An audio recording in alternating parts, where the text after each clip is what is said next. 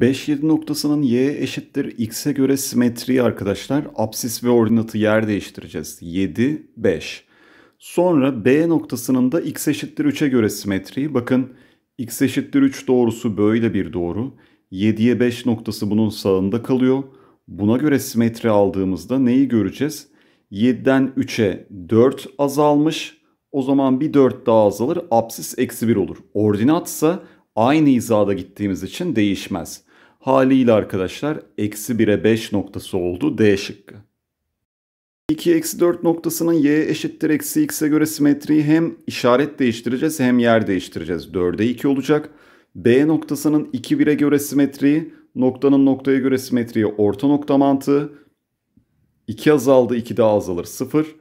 2'den 1'e 1 1 azaldı yine 1 azalacak arkadaşlar 0 oldu yani B şıkkı. 4 1 noktasının y eşittir eksi 3 doğrusuna göre simetriyi B. O zaman diyelim şimdi y eşittir eksi 3 şöyle bir doğru. 4'e 1 noktası da birinci bölgede. Neye dikkat edeceğiz arkadaşlar? Buraya kadar olan uzaklık e, ordinattan kaynaklı. Sonuçta apsis değişmez. Yine 4 olur. Ordinat 4 azalmış. Bir 4 daha azalır. Eksi 7. 4'e eksi 7 noktası. Bu B noktası. 4'e eksi 7 noktasının y eşittir eksi x'e göre simetriyi yer değiştir, işaret de değiştir. 7'ye eksi 4 olur. A şıkkı. 2-3 noktasının eksi 1-2 noktasına göre simetriyi arkadaşlar noktanın noktaya göre simetri olduğu için tabii ki orta nokta mantığıyla bakın. 2-3 eksi 1'e 2 eksi 1'e kadar 3 azalmış o zaman bir 3 daha azalır. Diyeceğiz ki eksi 4 3'ten 2'ye 1 azalmış bir daha azalır eksi 4'e 1 noktası. Şimdi bu eksi 4'e 1 noktasının 4x artı 3y eksi 2 eşittir 0 olan uzaklığı nasıl bulunuyordu? Noktayı denklemde yerine yaz. Sonra x ve y'nin katsayılarının kareler toplamı yani 16 artı 9'un karekökü. Böylece eksi 16 eksi 12 eksi 2 daha eksi 18 3 daha eksi 15 15 bölü 5'ten 3 olur C şıkkı. Üzerinde alınan bir noktanın 2-3 noktasına göre simetri 3'e 2'ymiş arkadaşlar. Şöyle düşünebilirsiniz bakın. Bir K noktası alalım bu doğrunun üzerinde.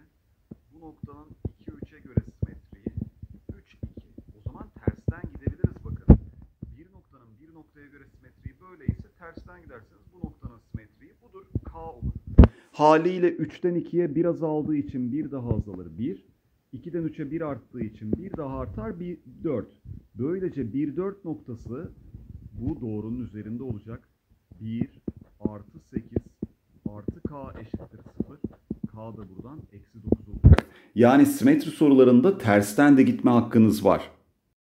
Doğrunun bir noktaya göre simetriği kendisi ise o nokta doğrunun üstündedir arkadaşlar. Çünkü bakın üzerinde olursa simetri aldığınız zaman yine mecburen ilerleyemezsiniz. Sağa sola yukarı aşağı kendisi üzerinde kalırsınız.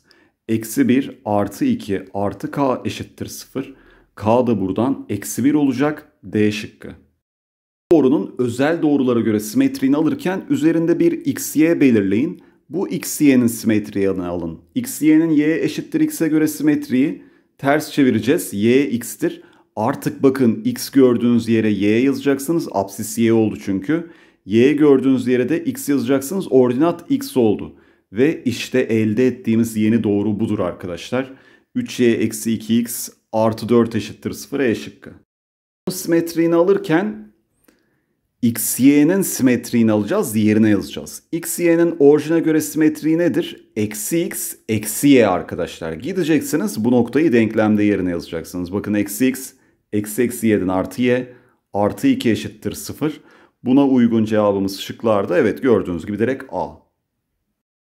Noktalar doğrusal olursa eğimi aynı olur. Bu birinci bilgim. Hatırlatmış olayım bunu. İkincisi de arkadaşlar bu şekilde kırık doğruların toplamının en az olması için herhangi birini ya A'yı ya B'yi x eksenine göre simetri alırsanız şöyle bir şey yapmış olursunuz. A'dan C'ye uğrayıp B'ye gitmekle A'dan C'ye uğrayıp B'ye B üstüne gitmek arasında fark vardır ama uzunluk olarak fark yoktur. Sonuçta CB yoluyla buradaki C üssü B yolu aynı. Biz ne yapacağız işte? Burada arkadaşlar A ve B sabit olduğu için değişmesi gereken diyeceğiz ki burada C. Ve buradaki C noktası zaten temsili bir nokta. Orada doğrusal olsun diye bakın aynı hale getirdim. B'nin e, yeni hali 3'e eksi 5. Noktalar doğrusalsa eğimler aynıdır. İşte yapıyorum. Eksi 5, eksi 1 bölü 3 eksi eksi 3'ten artı 3. Eşit olmalı. C ile herhangi birini alman yeterli. Mesela C ile A'yı alalım. 0 eksi 1 bölü K artı 3. Bundan dolayı eksi 6 bölü 6 eksi 1. Eksi 1'ler sadeleşti. K artı 3 eşittir 1 oldu. K da buradan eksi 2 geldi B şıkkı. Noktasının OB'ye göre simetriği demek hem diktir hem eşit uzaklıktır. Bu yüzden bakın şimdi ikizkenar üçgen yapacağız. 5, 12, 13. Sonuçta bu orijinal olan uzaklık. E, ikizkenar üçgenden dolayı OC de 13 olması lazım. 13'e 0 noktası oldu. E şıkkı. 6 noktasının orijine göre simetriği demek apsis ve ordinatın sadece böyle işaretini değiştir demek B. X eksenine göre simetri demek neydi arkadaşlar şöyle görelim. Sadece ordinat işaret değiştiriyor demek. Bu da 4'e eksi 6 olacaktır. Şimdi bakın burada size şunu göstermek istiyorum. Ordinatlar aynı. Ee, bakın 4'e 6 noktası apsisleri de aynı olan şey çıkacak şimdi. 4'e 6 noktası burası. Sonra e, diğer noktamız ne? 4'e eksi 6. 4'e eksi 6'da ne olur? Şöyle aynı hizada olan bir nokta. Bu da Noktası. B noktasına gelirsek eksi 4'e eksi 6. Bakın böyle bir nokta bu da. Dikkat ederseniz bir dik üçgen geldi gördünüz mü? Aynı hizada olması, ordinatların aynı olması veya apsislerin aynı olması bize bir dik üçgen getiriyor dik koordinat sisteminde. O yüzden çizerek yaptım bu soruyu. Haliyle burası 6 birim, burası da 6 birim olduğu için 12 birim. Şurası 4 birim, burası da 4 birim. Demek ki bir kenarı 12, bir kenarı 8. 2'ye bölersek 48 birim kareymiş B şıkkı. Bir doğrunun simetriğini alırken üzerinde bir xy alın, onun simetriğini alın arkadaşlar. xy'nin 1'e 1'e göre simetriği nasıl olur? Şöyle düşünebilirsiniz bakın buraya k, l ve l diyelim. k ile x'in toplamının yarısı 1'dir. Bu yüzden k buradan 2 eksi x olur. Sonra y ile l'nin toplamının yarısı yine 1'dir. L de buradan 2 eksi y olacaktır arkadaşlar. Gideceğiz yeni noktanın apsis ve ordinatını denklemde yerine yazacağız. Bu kadar yeterli. 2, 2 eksi x artı 2 eksi y artı 2 eşittir 0. Böylece 4 eksi 2x artı 2 eksi y artı 2 eşittir 0.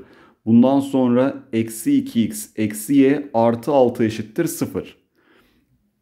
Pardon şuradan 4 buradan 2 buradan 2 8'miş orası. O zaman burada eksi ile çarparsak bakın 2x artı y eksi 8 eşittir 0. Normalde bulduğumuz doğru da cevap şıkkına uydurmak için sağ tarafa attım. Böylece E şıkkı geldi. Pervane uzunluğu 24 metre olduğuna göre 12-12 tam ortadan ikiye ayrıldığı için böyle olacak. Sonra arkadaşlar tabii ki bizden K noktasının koordinatlarını istiyor. Olay aslında şu 90'ın karşısı 12 ise 30'un karşısı 6. 60'ın karşısı 6 kök 3 olacak. Ve bizden apsis ve ordinatını istiyor. 6 kök 3'e 6 C şıkkı. Şöyle bir çizim yaparak bunu anlayabiliriz arkadaşlar. Şimdi eksi 7'ye 1 noktasının y eşittir mx'e göre simetriyi böyle temsil olarak y eşittir mx alayım. Bu noktanın bu doğruya göre simetriyi diktir ve eşit uzaklıktır değil mi? Ve bu neyin üzerindeymiş? Y eşittir eksi x üzerindeymiş bu nokta. y eşittir eksi x üzerindeki bir noktanın özelliği nedir? Apsisi a ise ordinatı eksi a'dır. Şimdi bundan sonra şunu görelim arkadaşlar. Burada bir noktanın bir doğruya göre simetriği diktir ve eşit uzaklıktır ya. Ben şunu söylerim. Orijine göre uzaklığı bunun 7, 1, 49, 1 daha 50, 5 kök 2 değil mi? Haliyle şöyle birleştirirsem bu noktanın arkadaşlar yine orijinal olan uzaklığı yeni noktanın da 5 kök 2 olacak. Ve 5 kök 2 olduğu için şöyle bir dik üçgen yaparsak burası 5 burası 5 çünkü y eşittir eksi x'in özelliğine 45 derecelik bir açı yapması haliyle arkadaşlar noktanın ordinatı soruluyordu bize. Böylece 5'e eksi 5 olur. Ordinat eksi 5 olur. Şimdi yalnız bu şıklarda yok. Çünkü biz y eşittir mx soru söylemedi arkadaşlar bize. Pozitif eğimli bir doğru kabul ettik ve böyle bir şey olmasında hiçbir mahsuru yok. İkinci olarak yani ordinatı kaç olabilir deseydi daha iyi olurdu o yüzden. İkinci durumda arkadaşlar eksi 7'ye 1 şöyle alırım. Böyle negatif eğimli bir y eşittir mx derim. Hatta biraz daha böyle yatık yapalım. Y eşittir mx diyelim. Buna göre simetri arkadaşlar bakın böyle bir nokta olsun. Ve bu nokta şimdi y eşittir eksi x üstünde olsun. Bakın böyle e, a'ya eksi a diyeceğim yine bu noktanın koordinatlarına. Ve artık yine yorumum nedir? Sonuç olarak bakın ikizkenar üçgen olacağı için burası 1 birim burası 7 birim olduğu için uzunluk 49 artı 1'den 55 kök 2. Bu ikizkenar üçgenden yine 5 kök 2 ve a'ya eksi a da zaten bakın burası da a burası da a olduğu için a kök 2 eşittir 5 kök 2 olacak. a da buradan 5 yani o zaman şunu söyleyebilirim. Apsisi bu sefer eksi 5 ordinatı da 5 olacak. Çünkü üçüncü, ikinci bölgede pardon. ikinci bölgede olduğu için apsis negatif, ordinat pozitif olması lazım. C şıkkı.